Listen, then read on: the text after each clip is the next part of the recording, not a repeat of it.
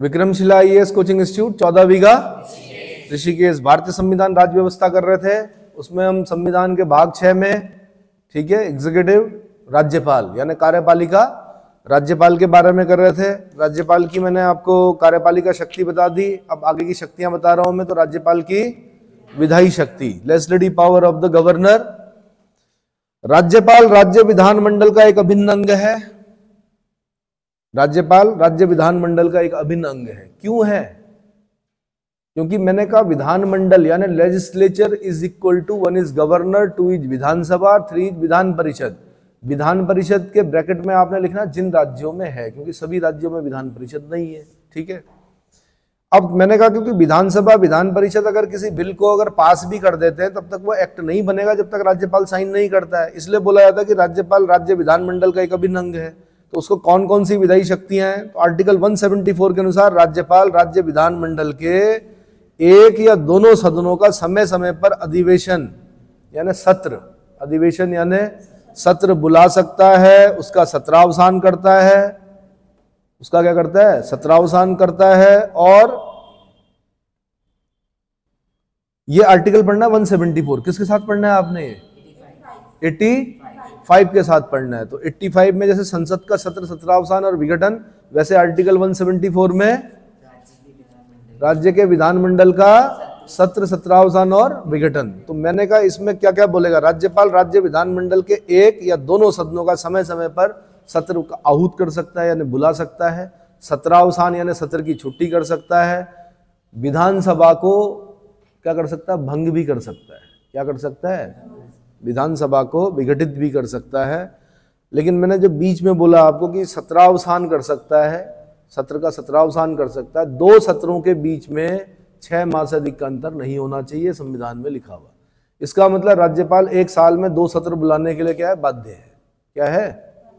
कम से कम दो सत्र उसको बुलाने पड़ेंगे और दोनों के बीच में छह माह का अंतर नहीं होना चाहिए। यानी पहले सत्र की अंतिम बैठक और आगामी सत्र की पहली बैठक के बीच में किसी भी हाल में छह माह से अधिक का अंतर नहीं होना चाहिए। क्लियर हो गया?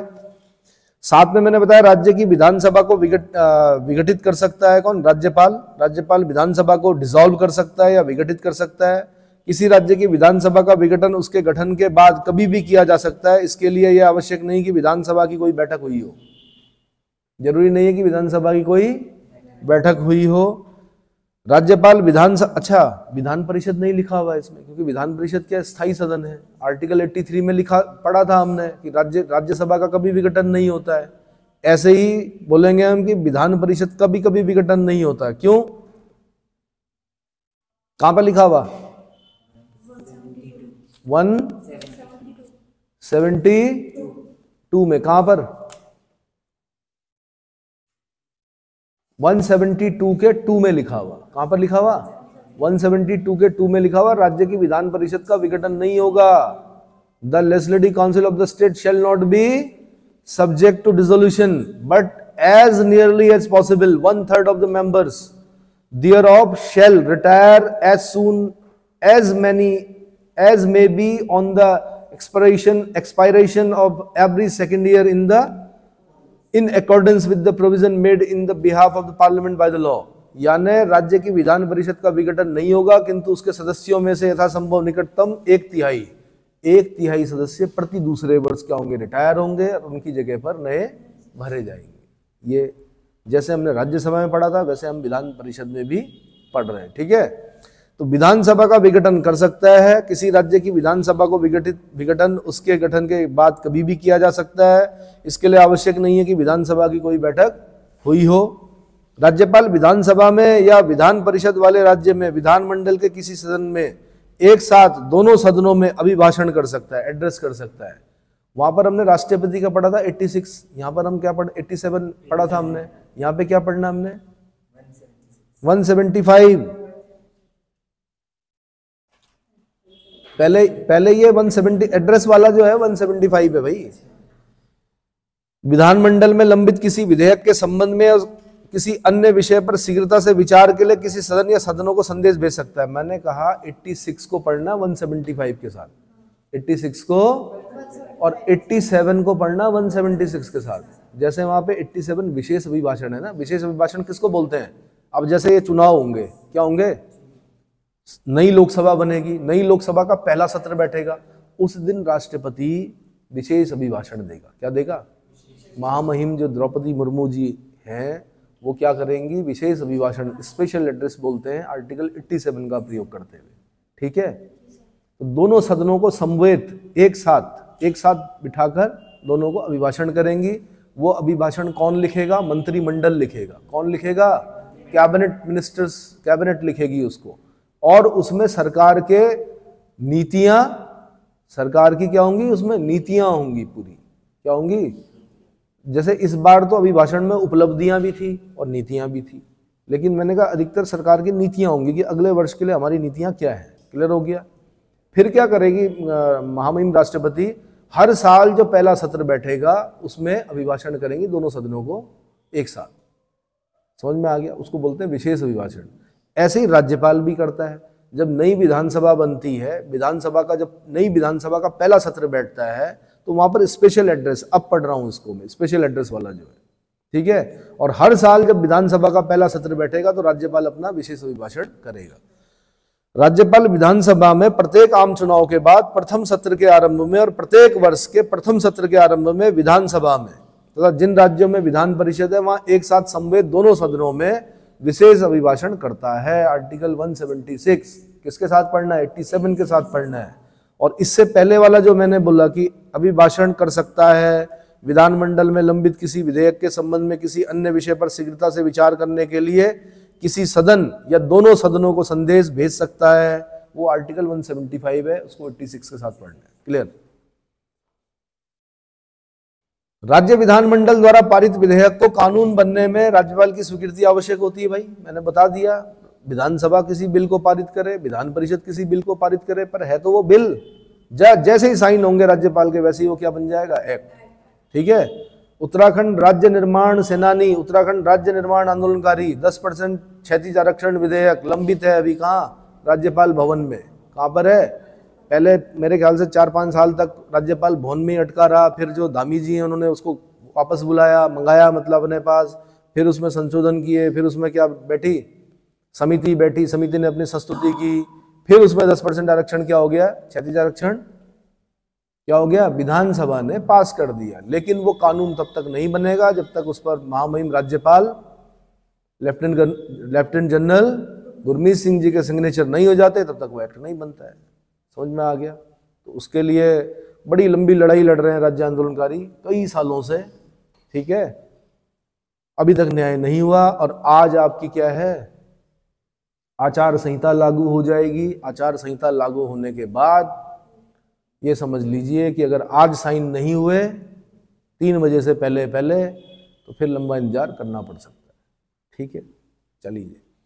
राज्य विधानमंडल द्वारा पारित विधेयकों को कानून बनने के लिए राज्यपाल की स्वीकृति आवश्यक होती है, अतः विधानमंडल द्वारा विधेयक को पारित कर राज्यपाल के पास स्वीकृति के लिए भेजा जाता है, जिस पर वह अपनी स्वीकृति प्रदान करता है। किंतु धन विधेयक धन विधेयक को छोड़कर शेष विधेयकों पर राज्यपाल अपनी स्वीकृति देने के लिए बाध्य नहीं है।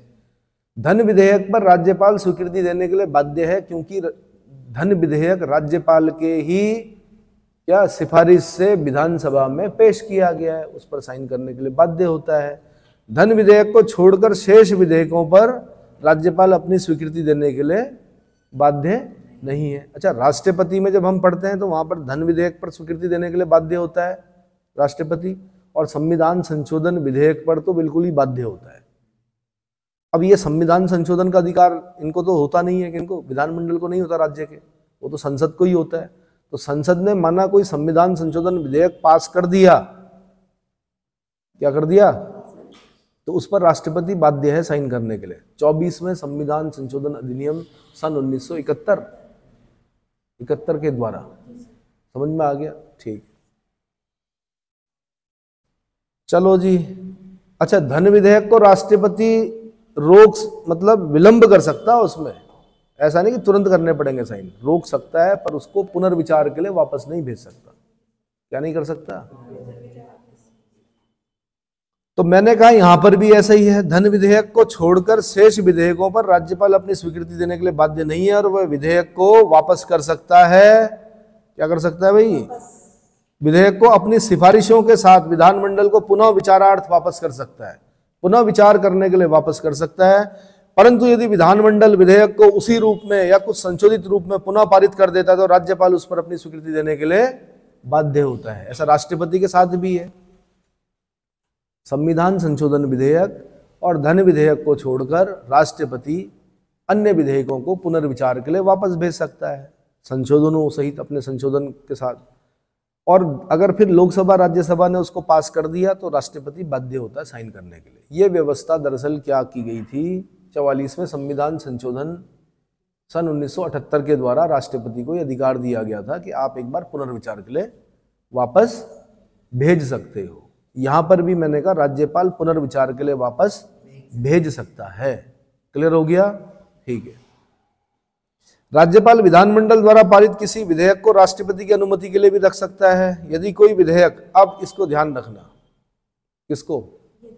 यदि कोई विधेयक उच्च न्यायालय की शक्तियों को कम करने वाला हो। क्या हो? उच्च न्यायालय की शक्तियों को कम करने वाला हो तो उसे राज्य राज, उसे राज्यपाल राष्ट्रपति के विचार के लिए अवश्य आरक्षित करेगा। क्या करेगा? उच्च न्यायालय की अधिकारिता अगर प्रभावित हो रही हो उच्च न्यायालय की शक्तियाँ कम करने वाला कोई विधेयक हो तो राज्यपाल राष्ट्रपति के विचारार्थ क्या कर देगा? उसको आरक्षित कर देगा। संविधान में इस बारे में कोई मार्गदर्शन नहीं है कि राज्यपाल किस विधेयक को राष्ट्रपति के विचार के लिए आरक्षित करेगा। कोई मार्गदर्शन है ही नहीं। अब यूसीसी आया उत्तराखंड में यूनिफॉर्म सिविल कोड वाला। ठीक है, उसको क्या किया? विधानसभा ने पास कर दिया। महामहिम राज्यपाल ने उस पर साइन नहीं किए। लेफ्टिनेंट जनरल महामहिम गुरमीत सिंह जी ने उसको क्या कर दिया? राष्ट्रपति महामहिम द्रौपदी मुर्मू जी के लिए क्या कर दिया? हाँ जी, आरक्षित कर दिया। उस पर साइन हो गए। साइन हो गए तो क्या हो गया? उत्तराखंड में यूसीसी लागू हो गया। उत्तराखंड पहला राज्य है जहाँ पर यूनिफॉर्म सिविल कोड समान सिविल संहिता लागू करने वाला पहला राज्य कौन? उत्तराखंड। डेट याद करनी पड़ेगी कब लागू हुआ। है ना? अध्यादेश जारी करने की शक्ति। अगला क्या है भाई? अध्यादेश जारी करने की शक्ति। सही इंफॉर्मेशन दिया करो, गलत इंफॉर्मेशन मत दो। अभी कुछ दिन पहले ही हुए हैं साइन, राष्ट्रपति जी के। अध्यादेश जारी करने की शक्ति power of power of president power of governor to promulgate ordinance power of governor to promulgate ordinance अध्यादेश जारी करने की शक्ति। अब जब बोलेगा राष्ट्रपति के अध्यादेश जारी करने की शक्ति तो वन टू थ्री में है। जब बोलेगा राज्यपाल के अध्यादेश जारी करने की शक्ति तो वो टू वन थ्री में one two three two one three याद रहेगा? वन टू थ्री राष्ट्रपति के अध्यादेश जारी करने की शक्ति। टू वन थ्री राज्यपाल के अध्यादेश जारी करने की शक्ति। क्लियर हो गया? होता क्या अध्यादेश? मैंने आपको बता दिया था ऑर्डिनेंस एक आयुद्ध होता है, एक अध्यादेश होता है। ऑर्डिनेंस फैक्ट्री रायपुर, वहाँ पर आयुद्ध गोला बारूद बनता है वहाँ पर। क्या बनता है? टैंक के गोले, गोलियाँ, बंदूक की गोलियाँ, ये बनती हैं वहाँ पर। ये है अध्यादेश। क्या है?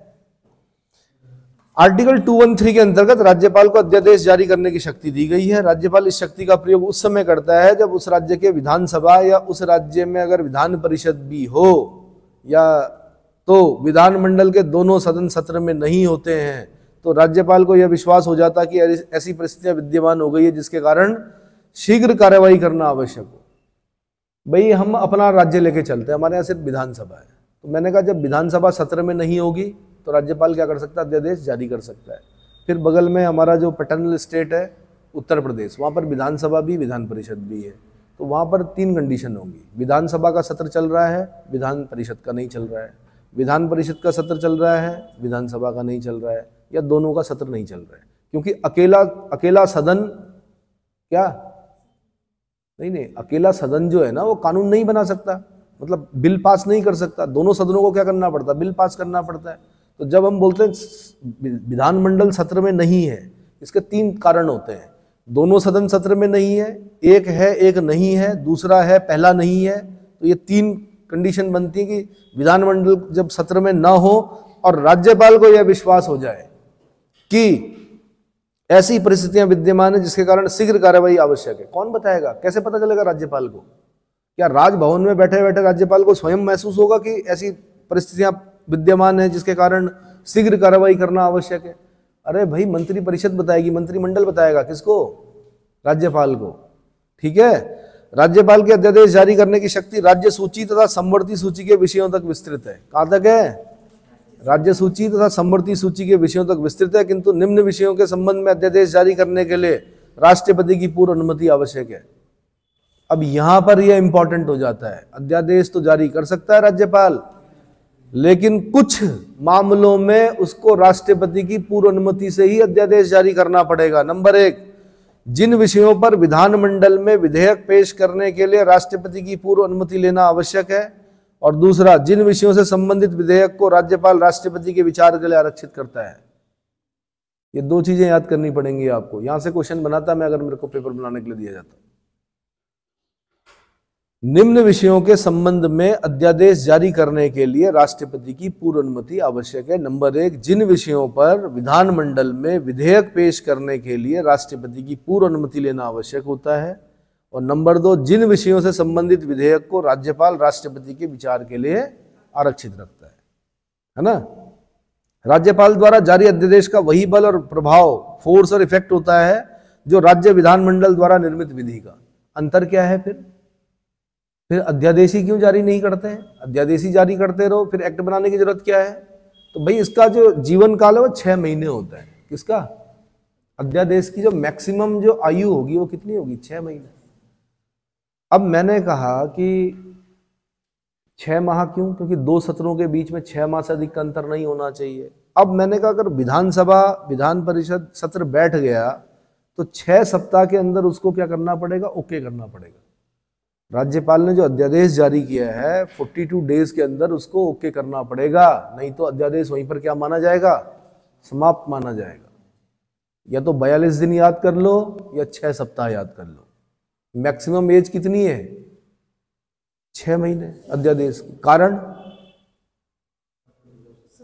क्योंकि दो सत्रों के बीच में छह माह से अधिक अंतर नहीं होता है। और वैसे मैंने कहा तीन सत्र बैठते हैं। क्या बैठते हैं? माना नहीं बैठे तीन सत्र, छह महीने हो गए तो तब फिर वहीं पर खत्म हो जाएगा वो। अगर क्या? पहले तो दो सत्रों के बीच में छह माह से अधिक अंतर नहीं होना चाहिए। इसीलिए अध्यादेश की आयु जो बोल रहा हूँ मैं, छह माह। लेकिन अब विधानसभा का सत्र बैठ गया तो बयालीस दिन के अंदर अंदर उसको ओके करना पड़ेगा, विधान परिषद, विधानसभा। ठीक है? इस अनुच्छेद के तहत जारी अध्यादेश राज्य विधानसभा के समक्ष या विधान परिषद वाले राज्य में दोनों सदनों के समक्ष विचार के लिए रखा जाता है। विधानमंडल के पुनः संवेद होने के छह सप्ताह की समाप्ति पर या इससे पूर्व ही विधानमंडल द्वारा उसे अस्वीकार करने वाला प्रस्ताव पारित करने पर अध्यादेश समाप्त हो जाता है। क्या हो जाता है? किंतु यदि विधानमंडल अध्यादेश को स्वीकार करने का प्रस्ताव छह सप्ताह की समाप्ति से पूर्व पारित करता तो वह अधिनियम बन जाता। वो क्या बन जाएगा? एक्ट बन जाएगा। और कभी कभी सरकारें क्या करती हैं वो वाद विवाद से बचने के लिए अध्यादेश के जा, अध्यादेश जारी करवा देती हैं। बाद में उसको ज़्यादा उस पर बहस ना हो ज़्यादा हल्ला गुल्ला ना हो तो अध्यादेश के द्वारा क्या करते हैं उसको? किसी कानून को पहले ऑर्डिनेंस और फिर उसको उक्के करके फिर उसको क्या बना देंगे? एक्ट बना देंगे। क्लियर हो गया? राज्यपाल किसी भी समय अध्यादेश को वापस ले सकता है यदि विधान परिषद वाले राज्य में दोनों सदनों की बैठक अलग अलग तिथियों में बुलाई जाती है तो छह सप्ताह की अवधि की गणना पश्चातवर्ती तिथि से की जाएगी। अरे यार, पहले विधान परिषद का सत्र बैठ गया तो कहाँ से गिनेंगे हम? फिर विधानसभा का सत्र बैठा। तो जिस दिन बाद वाले सदन का सत्र बैठा ना, वहाँ से गिनेंगे हम। क्या बयालीस दिन? माना एक महीने का अंतर है। तब ऐसे थोड़े बोलेंगे कि विधान परिषद एक महीने पहले बैठ गई, तीस दिन तो ये हो गए, और बारह दिन और रह गए। वहाँ से नहीं विधान परिषद जैसे आज बैठ गई और एक महीने बाद विधानसभा का सत्र बैठा माना। तो विधानसभा का सत्र जिस दिन बैठा, तब से गिना जाएगा। या मैं बोल रहा हूँ कि आज विधानसभा का सत्र बैठ गया, एक महीने बाद विधान परिषद का सत्र बैठा। तो जो बाद वाला सत्र जो बैठा, जिस सदन का, वहाँ से बयालीस दिन गिने जाते क्लियर हो गया? ठीक है।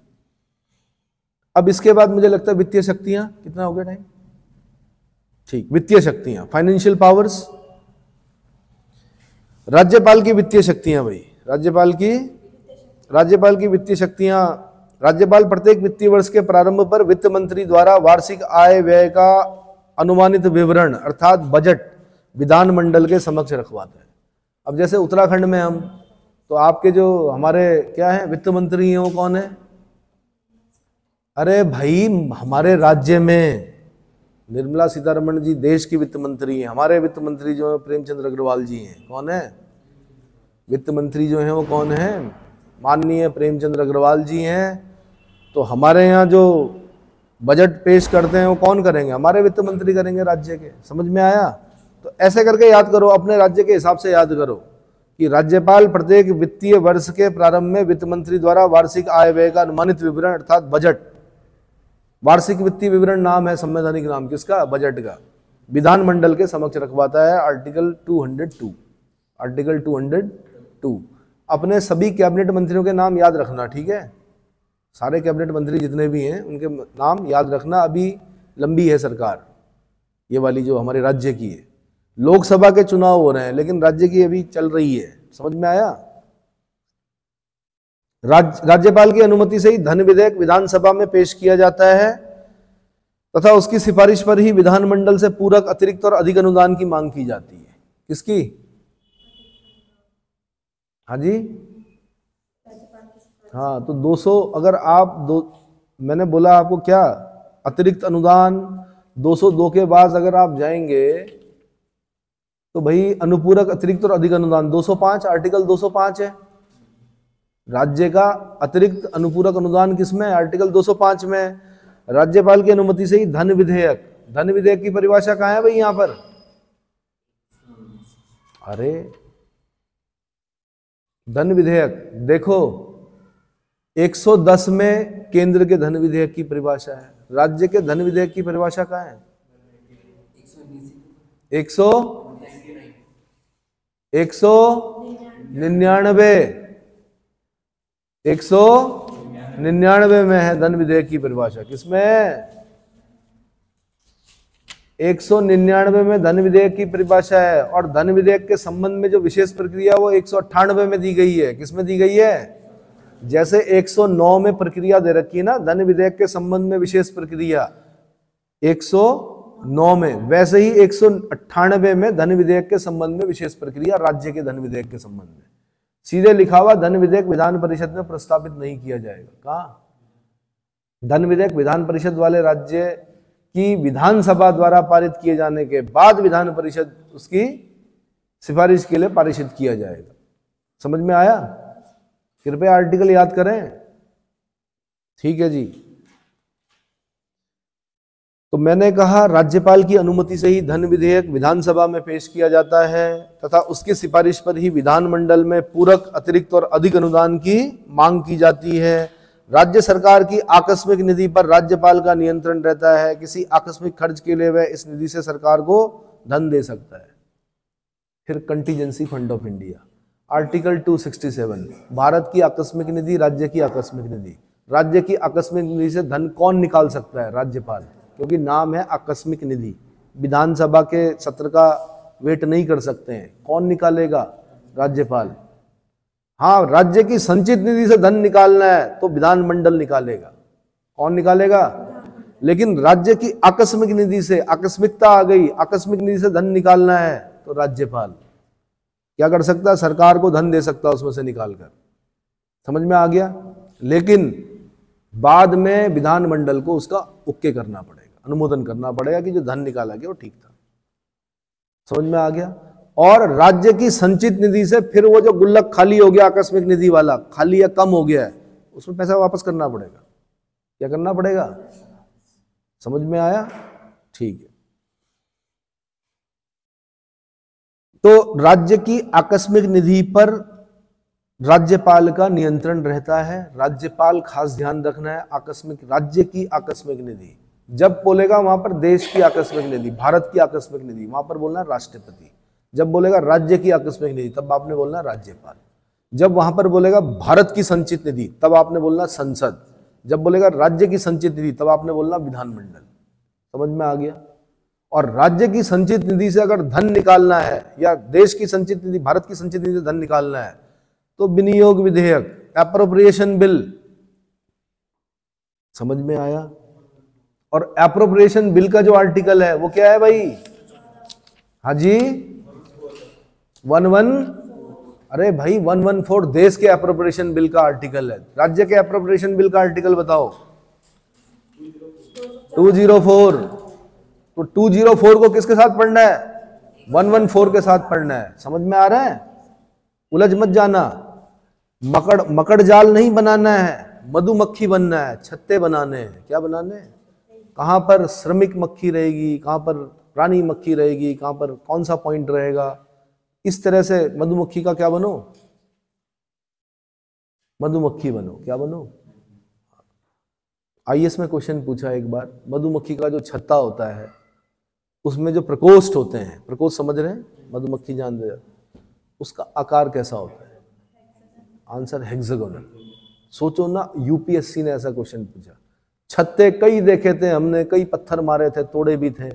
कभी ध्यान से नहीं देखा। यूपीएससी ने बोला कि, बेटा, छत्ते तोड़ने से नहीं बनते आई देखना पड़ता है कि उसका आकार कैसा है। समझ में आया? ठीक। बचपन ना? मूर्ख थे हम लोग भी। पता नहीं था कि क्या करना है। वो जीव थे। सतयुग के जीव बोला जाता है किसको? मधुमक्खियों को। उनके छत्तों को तोड़ना नहीं है। क्या नहीं करना है? पहले उनके बच्चों को खाने दो शायद, बच जाए तब लो उसमें से। चलो जी। अगला, इसके अतिरिक्त वह राज्य लोक सेवा आयोग का वार्षिक राज्य लोक सेवा आयोग का वार्षिक प्रतिवेदन और राज्य की आय व्यय के संबंध में महालेखा परीक्षक के प्रतिवेदन प्राप्त करता है और उन्हें विधानमंडल के समक्ष रखवाता है। अब ध्यान रखना भाई, राज्य लोक सेवा आयोग वार्षिक प्रतिवेदन में क्या लिखा हुआ होगा? राज्य लोक सेवा आयोग का काम क्या है? परीक्षा आयोजित कराना। क्या? परीक्षाएँ आयोजित, जब आप परीक्षाएँ दोगे तो उसमें लिखा होगा। कि ये ये ये ये ये लोग एसडीएम बनने लायक हैं या डीएसपी बनने लायक हैं, प्रतिवेदन देगा उनको। क्या देगा? प्रतिवेदन देगा, वार्षिक प्रतिवेदन। मैंने इतनी भर्तियाँ करा दी हैं, इतने लोगों को वो कर दी हैं। तो देखा होगा आपने, माननीय मुख्यमंत्री जी के माध्यम से क्या हो रहा है? आजकल नियुक्ति पत्र बांटे जा रहे हैं। बांटे जा रहे हैं? हाँ। ऐसे ही आपका महालेखा परीक्षक होता है भाई। नियंत्रक महालेखा परीक्षक। का प्रतिवेदन प्राप्त करता है तो मैंने कहा, जो देश संबंधी लेखा लेखा होगा, कैग, आर्टिकल 148 से लेकर 151 तक, नियंत्रक महालेखा परीक्षक जिसको बोलते हैं, देश का एक ही होता है, वो क्या करेगा कि देश की जो रिपोर्ट है, वो किसको देगा? राष्ट्रपति को। राज्य संबंधी जो रिपोर्ट होगा, वो राज्यपाल को देगा। राष्ट्रपति उनको संसद के पटल पर रखवाएँगे, राज्यपाल उसको विधानमंडल के पटल पर रखवाएँगे। तो जब महालेखा परीक्षक की जब रिपोर्ट आएगी और वो विधानमंडल के पटल पर रखी जाएगी तो उसको सत्तारूढ़ दल और विपक्ष दोनों पढ़ेंगे। तो सत्तारूढ़ दल तो उतना ध्यान नहीं देगा, लेकिन विपक्ष ध्यान देगा, घोटाला कहाँ पर हुआ? क्या हुआ? क्योंकि जितने भी घोटाले होते हैं, इस देश में सुने होंगे आपने, टू जी स्पेक्ट्रम घोटाला, थ्री जी स्पेक्ट्रम घोटाला, सांड घोटाला, चारा घोटाला, बहुत सारे घोटाले, है ना? ऐसे ऐसे घोटाले जो अन्य देशों में हमने नहीं सुने। पहला जो घोटाला हुआ था इस देश में रक्षा घोटाला हुआ था, जीप घोटाला। जीप घोटाला हुआ था, वो फोर्स तो बहुत बात की चीज़ है है ना? ऐसे राज्य में भी तो कुछ होंगे गड़बड़, कुछ अनियमितताएँ होंगी, वो रिपोर्ट किसको सौंपेगा? कैग, राज्यपाल को सौंपेगा। राज्यपाल कहाँ रखवाएगा? विधानमंडल के पटल पर रखाएगा। विपक्ष पढ़ेगा विपक्ष को पता चलेगा कि सत्ता में जो लोग बैठे हुए थे, उनके समय में राज्य में ये घोटाला हो गया भाई। क्या हो गया? हाँ छात्रवृत्ति घोटाला हो गया। और क्या हो गया? और बताओ। बेबाकी से बोला करो, डरो मत। और कौन से घोटाले हुए राज्य में? तो उनको कौन रखवाएगा? तब पता चलेगा भाई ये गड़बड़ होगी। क्या हो गया? छात्रवृत्ति के नाम पर खा गए कुछ लोग सारा पैसा। ठीक है? चलो जी। तो महालेखा परीक्षक के प्रतिवेदन प्रतिवेदन बोलते हैं, रिपोर्ट को प्राप्त कर सकता है और विधानमंडल के समक्ष रखता है। अब आगे है गवर्नर की न्यायिक शक्तियाँ। गवर्नर की न्यायिक शक्तियाँ। भाई, वहाँ पे तो एक विशेष शक्ति थी राष्ट्रपति की 143 पढ़ा था हमने कि राष्ट्रपति को अगर ऐसा प्रतीत होता है कि कोई प्रश्न ऐसा खड़ा हो गया जिसमें उच्चतम न्यायालय की राय प्राप्त करना समीचीन होगा तो राष्ट्रपति उच्चतम न्यायालय से क्या कर सकता है? राय प्राप्त कर सकता है। ना तो उच्चतम न्यायालय राय देने के लिए बाध्य है ना ही राष्ट्रपति उच्चतम न्यायालय द्वारा दी गई राय को मानने के लिए बाध्य है। वो यहाँ पर तो ऐसा है नहीं। यहाँ पर थोड़ा दूसरे किस्म की न्यायिक शक्तियाँ हैं। पहले देख लीजिए 161 क्षमादान की शक्ति। देखते होंगे आप 15 अगस्त 26 जनवरी। कुछ कैदी छोड़ दिए गए, उनके अच्छे आचरण के कारण। कौन छोड़ता है? किसके किसके कहने से छूटते हैं? कि जी टीरी जेल टीरी जेल में इतने लोग थे, उनमें से कुछ को अच्छे आचरण के कारण क्या कर दिया गया? छोड़ दिया गया या देहरादून जेल सुद्धों वाला जो भी है, जेल से छोड़ दिए गए इतने कैदी। क्यों छोड़ दिए गए कि उन्होंने, उनका आचरण क्या था? अच्छा था। कौन छोड़ेगा? राज्यपाल। क्षमादान। तो आर्टिकल 161 आर्टिकल तो 72 के साथ पढ़ना है। किसके साथ पढ़ना है? भाई 72 तो राष्ट्रपति की क्षमादान की शक्ति है।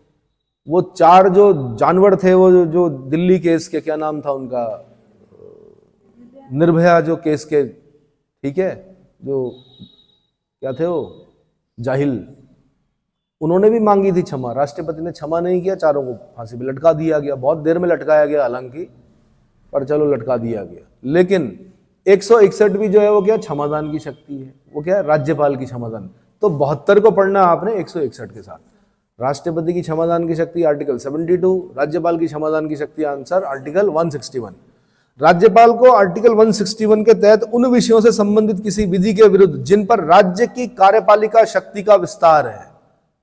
राज्य की कार्यपालिका शक्ति का विस्तार है। किए गए किसी अपराध के लिए दोष सिद्ध किए गए किसी व्यक्ति को दंड को क्षमा पार्डन्स क्षमा मतलब पार्डन्स करने, उसका प्रविलंबन करने, यानी रिप्राइव्स यानी रिप्राइव्स करने, विराम यानी रिस्पाइट्स करने या परिहार यानी रिमिशन करने कि अथवा दंडादेश के निलंबन या लघुकरण यानी कम्यूट की शक्ति प्राप्त है।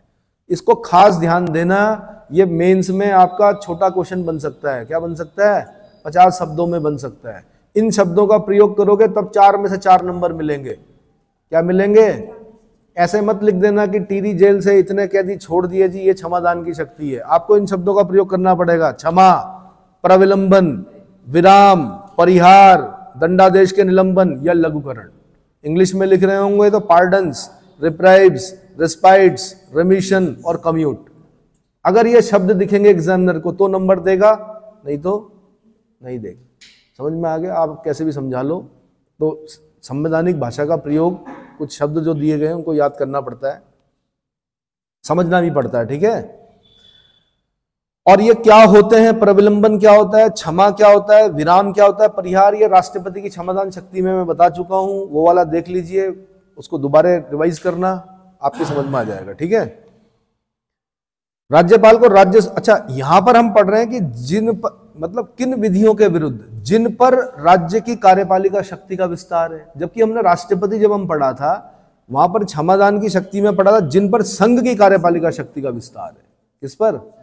संघ की कार्यपालिका शक्ति का विस्तार है। यहाँ पर हम पढ़ रहे हैं, राज्य की कार्यपालिका शक्ति का विस्तार है। क्लियर हो गया? ठीक है। अतः राज्यपाल को राज्य सूची तथा संवर्ती सूची के विषयों से संबंधित विधि के विरुद्ध किए गए अपराधों के लिए क्षमादान आदि की शक्ति है। राज्यपाल को मृत्युदंड को क्षमा करने का अधिकार नहीं है। मृत्युदंड को क्षमा करने का अधिकार नहीं है और ना ही संघ सूची के विषयों से संबंधित विधि के विरुद्ध किए गए अपराध या सेना न्यायालय द्वारा दिए गए किसी दंडादेश को क्षमा करने का अधिकार है?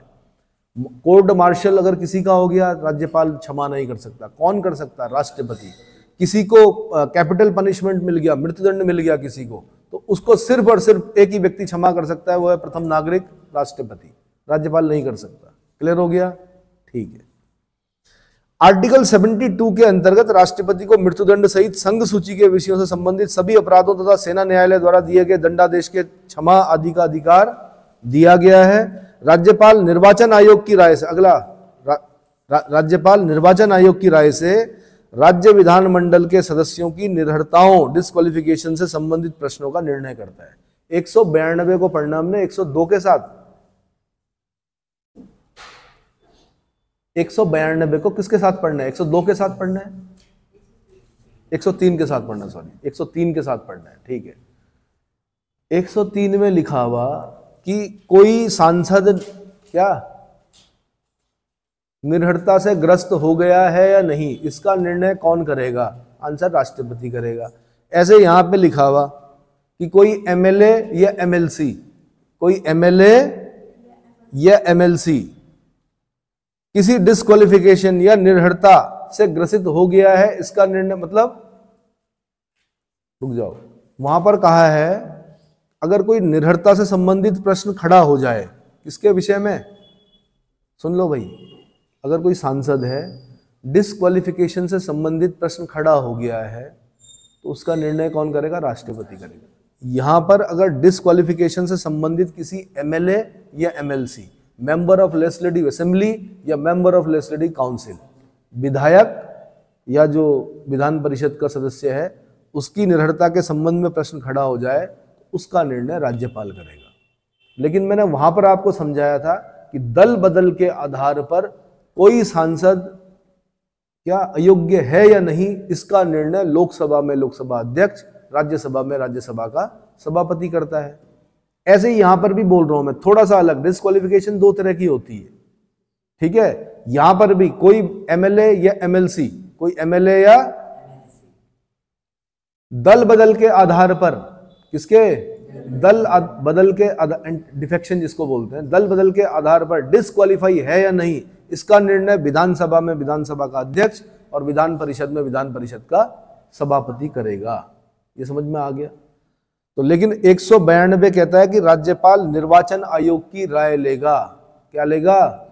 और ये कौन से निर्वाचन आयोग की राय लेगा? देश के निर्वाचन आयोग 324 की राय लेगा। राज्य निर्वाचन आयोग की नहीं, किसकी?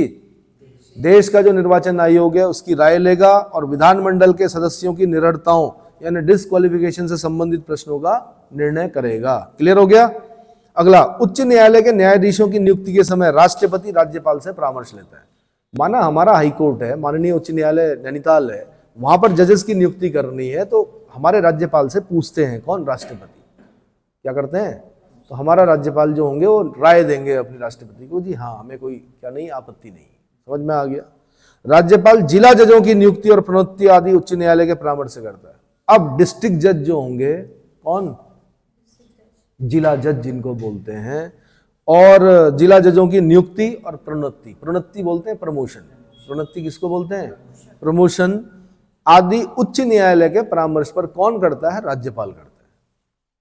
अभी पढ़ेंगे हम सबॉर्डिनेट कोर्ट जब हम पढ़ रहे होंगे, वहाँ पे पढ़ेंगे हम जिला जज। क्या पढ़ेंगे? जिला जज। ठीक है, पहले आप पीसीएस जे दोगे जुडिशरी का पेपर दोगे। क्या बनोगे? मुंसिफ मजिस्ट्रेट बनोगे। क्या बनोगे? मुंसिफ मजिस्ट्रेट बोलते हैं उनको। फिर धीरे धीरे धीरे धीरे प्रमोट होंगे आप। प्रमोशन करते करते एक टाइम ऐसा आएगा जब आप जिला जज बनोगे। क्या बनोगे? जिला जज बनोगे। जब जिला जज बन, बन जाओगे कुछ साल तक जब आप जिला जज रहोगे तब आपको अधिकार होगा हाई कोर्ट तक जाने का। रास्ता खुलता है फिर। और फिर हाई कोर्ट से फिर रास्ता खुलता कहाँ का? सुप्रीम कोर्ट का है ना? अगर जल्दी बूढ़े नहीं हो गए तो। भाई पैंसठ बासठ साल तक हाई कोर्ट बाकी तीन साल सुप्रीम कोर्ट पैंसठ साल तक। इसलिए लॉ करो। क्या करो? अगर आपने देश का कानून नहीं पढ़ा तो कुछ नहीं पढ़ा देश का कानून पढ़ना ज़रूरी है। क्या ज़रूरी है? तो बजाय क्या? शेक्सपियर के ड्रामा पढ़ने से अच्छा है कि अपने देश का कानून पढ़ो। शेक्सपियर ने क्या कहा? वहाँ इंग्लैंड में बैठ गए, वो वहीं ठीक है। ठीक है, मैं विरोध नहीं कर रहा हूँ। जॉफरे चौसर पढ़ो, शेक्सपियर पढ़ो। लेकिन अपने देश का अगर आपने कानून पढ़ लिया तो अपने देश के बारे में क्या होती? जानकारी होती। ठीक है? चलिए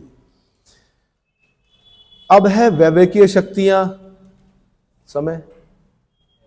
ठीक, वैवेकीय शक्तियाँ। Discretionary powers of the president संविधान के आर्टिकल 163 संविधान के आर्टिकल 161 के अंतर्गत राज्यपाल को कुछ वैवेकीय शक्तियाँ प्रदान की गई हैं, जिसका प्रयोग वह मंत्री परिषद के परामर्श के बिना भाई विवेक से करना है तो मंत्री परिषद के परामर्श के बिना कर सकता है। दूसरे शब्दों में, वह कुछ कार्य मुख्यमंत्री की सलाह के बिना भी करता है, जो उसकी वैवेकीय शक्तियों के अंतर्गत आते हैं। राज्यपाल की वैवेकीय शक्तियों को दो वर्गों में बांटा गया है।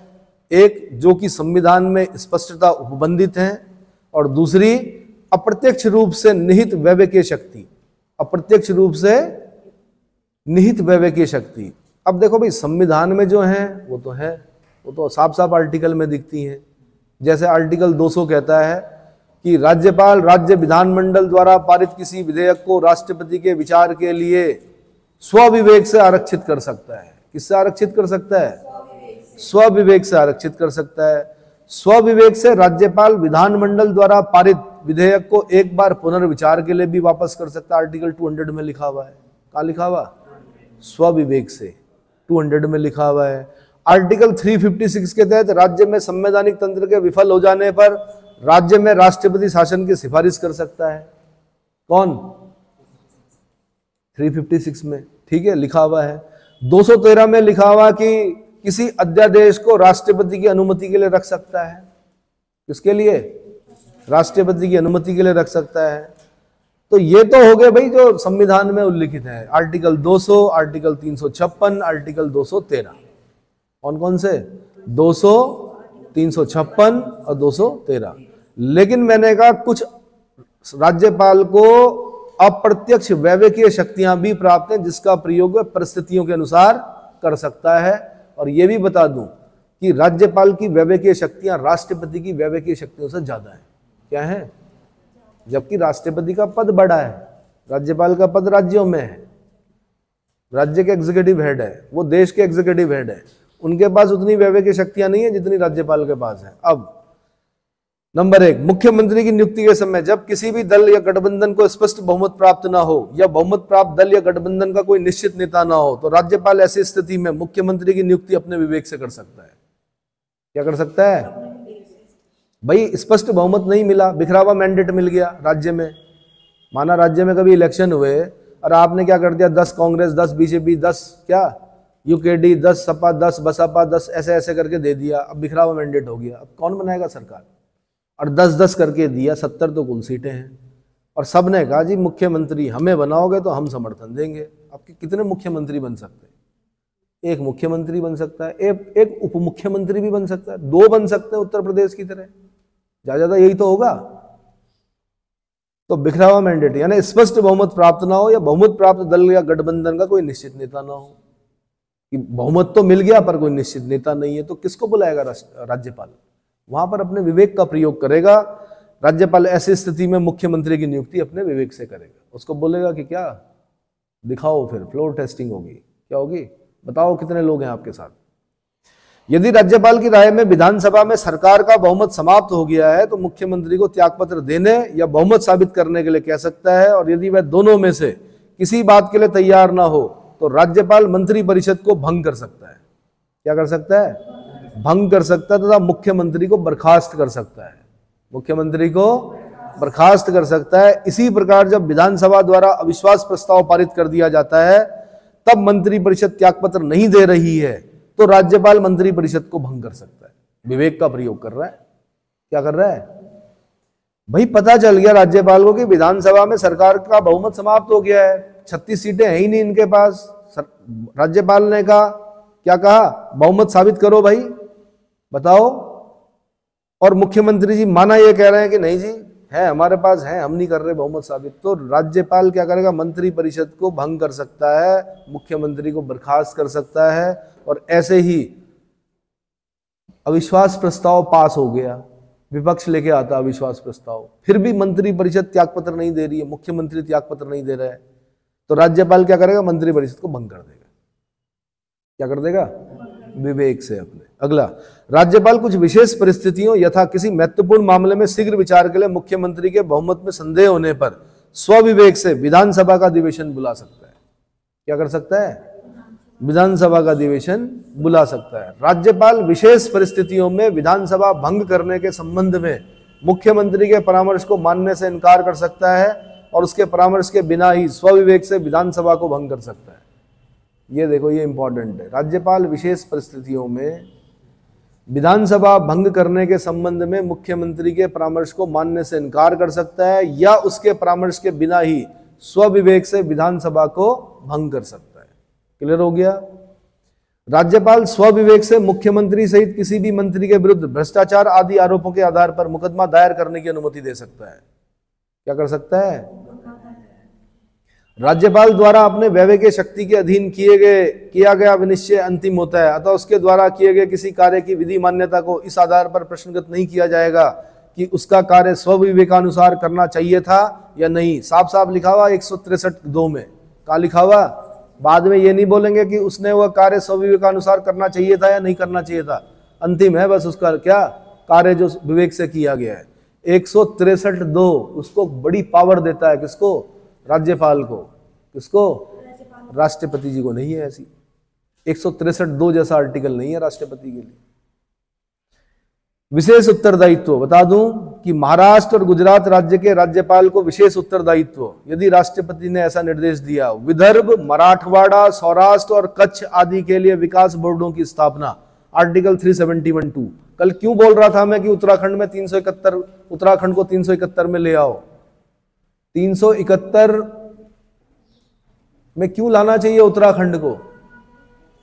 देख लो, मैं बता देता हूँ 371 में महाराष्ट्र, गुजरात पढ़ा था हमने। वो 371 क्या देता है महाराष्ट्र, गुजरात के राज्य? मतलब महाराष्ट्र, गुजरात को उसमें विशेष उपबंध जो दिया गया, उसमें क्या है? सुन लो भाई इंपॉर्टेंट है, इस बार क्वेश्चन बनेगा यूपीएससी में, सुन लो। महाराष्ट्र गुजरात राज्यों के राज्यपाल को विशेष उत्तरदायित्व। विशेष यदि राष्ट्रपति ने निर्देश दे दिया हो, साथ में ये भी बोलना पड़ेगा। तो देखो, विदर्भ, महाराष्ट्र में पड़, विदर्भ मराठवाड़ा, सौराष्ट्र और कच्छ, ये बड़े सेंसिटिव ज़िले हैं भाई। कच्छ सुना है आपने? रन ऑफ़ कच्छ। जंगली गधों का अभ्यारण्य भी है वाइल्ड लाइफ सेंचुरी आई इसका क्वेश्चन रहा है वहाँ पर। लिटिल रन में है। रन ऑफ़ कच्छ सुना होगा आपने। नमक, कैसी ज़मीन? नमक, दलदल। बीएसएफ के जवान रहते हैं हमारे वहाँ पर। कभी दिल्ली एम्स में जाना? यंग जो लड़के हैं किडनी फेलियर हो जाता है कई बार। क्यों पानी नहीं है? क्या नहीं है? ड्यूटी देनी होती है। बड़ा कठिन क्या होता है? कीचड़ में जब चलना पड़ता है, बहुत गर्मी है। ठीक है? नमक ही नमक, हवा में भी नमक और ज़मीन में भी नमक। समझ में आ रहा है? ठीक। तो वहाँ पर विदर्भ, मराठवाड़ा, सौराष्ट्र और कच्छ आदि के लिए विकास बोर्डों की स्थापना कर सकता है। कौन? वहाँ का गवर्नर। कहाँ का? महाराष्ट्र और गुजरात का। महाराष्ट्र और गुजरात का। नागालैंड तीन सौ इकहत्तर कौ में पढ़ा था हमने। नागालैंड का राज्यपाल का विशेष उत्तरदायित्व है। अब क्या है ये? मैं जब तीन सौ इकहत्तर पढ़ा रहा हूँ ना, वहाँ डिटेल से बताऊँगा कि उत्तराखंड को तीन सौ इकहत्तर में क्यों आना चाहिए। ठीक है? मणिपुर के राज्यपाल का विशेष उत्तरदायित्व, मणिपुर के पहाड़ी क्षेत्रों से निर्वाचित होने वाली समिति का उचित कार्यकरण सुनिश्चित करने के लिए होता है। तीन सौ इकहत्तर गाँव में पढ़ते हैं हम ये।